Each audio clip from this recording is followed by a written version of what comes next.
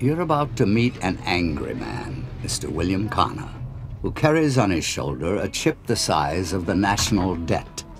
This is a sour man, a lonely man, who's tired of waiting for the breaks that come to others but never to him. Mr. William Connor, whose own blind hatred is about to catapult him into the darkest corner of the Twilight Zone.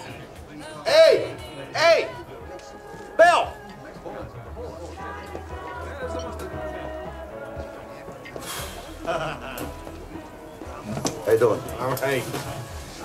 Can't stay long. My wife's relatives from Florida coming over for dinner. Great. Hey, girl, another beer over here. Bill, you look kind of cranky this evening. Yeah, I'm pissed, all right. Uh-oh. Remember the guy Goldman? You didn't get promoted? Gave it to that Jew bastard.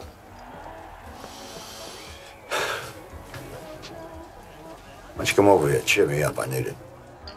Just drink your beer. What about you? You want to cheer me up? Don't touch me. Don't touch me. Okay.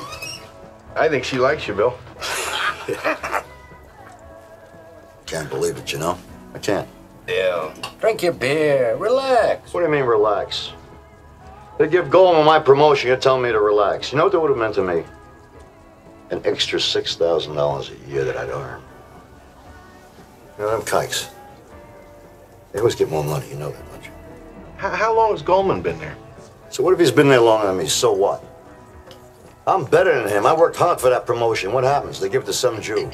And what else do the hell they want, for Christ's sake? They own everything as it is. Oh, Bill. The Jews don't own everything. The Arabs won't let them. Arabs, what the hell is that? Just a nigger wrapped up in a sheet. He's on a roll now. I gotta tell you something. I don't know what's the matter with this country, but it's getting tougher and tougher to earn a living. You know why? I'll tell you why. Because of the Jews, because of the blacks, because of the Orientals. You're ranting, Bill. Yeah, I'm ranting. Why not? You know who owns my house? Jap Bank. I'll tell you something else. Niggas live not more than six blocks from my house. Six blocks. Excuse me, mister. Have you got a problem? Yeah, I got a lot of problems. Look, I really don't care what you gentlemen think, as long as we don't have to listen to it. It's okay, no problem. My friend is a little upset, that's all. I got some bad news tonight.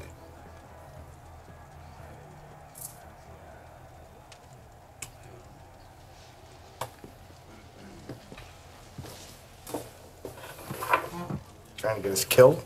I just finished telling you that some Jew got my job. Niggas live in my neighborhood. You getting embarrassed? You want to leave? You want me to hold it down? What? Hey, don't give me that. I'm going to tell you something. I love this country, damn it. And I fought for it in Korea. And my country paid me to kill gooks. Hey, hey! But those same gooks now own my house. I needed that job. I really needed that promotion. I was counting on the extra money. I understand. The Jews are rich. What the hell they want with my job anyway? Hey, Bill, I know Goldman. You can't exactly call him rich. Understand what the hell I'm talking about, do you? I'm trying to tell you that I'm better than a Jew.